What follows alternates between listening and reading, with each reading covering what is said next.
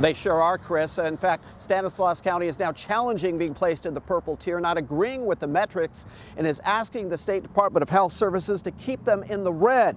Businesses say being in the purple is potentially devastating. At Graffiti Dogs on 10th Street, indoors is virtually empty.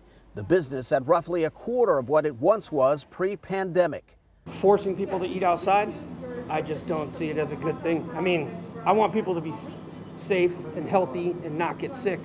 But from a restaurant's perspective, you can't really keep pushing people outside and expect them to keep coming in. Customer Arlen Silva is a public transit bus driver, but in favor of tighter restrictions in Stanislaus County. I know people like to get out and do things, but I think it's important that everybody be safe. Right now, Stanislaus has just over eight positive COVID cases per 100,000.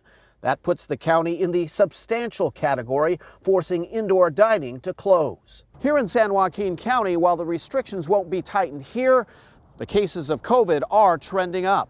Here in San Joaquin County, I really think it's multifactorial. Um, across the board, we've always seen that whenever we start to open things, people let down their guard. So we moved from purple to red, and by getting to red, we opened things and the problem is when people see the word open, they think we're, why, we're widely open. By the way, San Joaquin County COVID hospitalizations have more than doubled since the end of October. And meantime, here in Stanislaus County, they'll know their answer to their tier outcome by sometime next week. Specifically, actually on Tuesday, they'll know if they'll stay in the red tier. We're live in Modesto. Back to you.